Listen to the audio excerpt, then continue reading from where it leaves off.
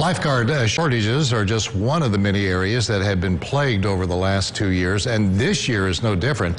But Eyewitness News' DeSherian McBroom explains how some local pools are dealing with the shortage and still working to keep the community safe. Safety will always, you know, exceed anything else. Many experts around the water expect the summer of 2022 to bring the most people back to their local pools since 2019 pre-pandemic.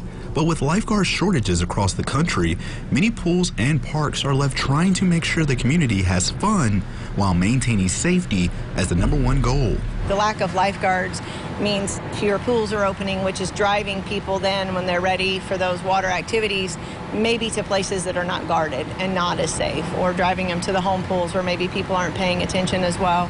And so being able to open pools with lifeguards is just going to really help uh, with those statistics and help bring those statistics back down.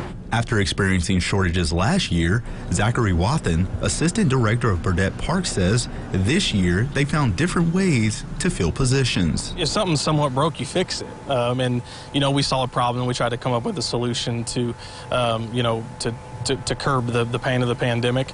Um, you know, we've thought outside the box, um, and, and you, have got to you got to use everything every resource you can to get kids and be appealing and, and have a simple place to work for kids. The YMCA is about 60 to 70 percent staff and could use another 20 or 30 guards to be comfortable as pools look to be filled this summer.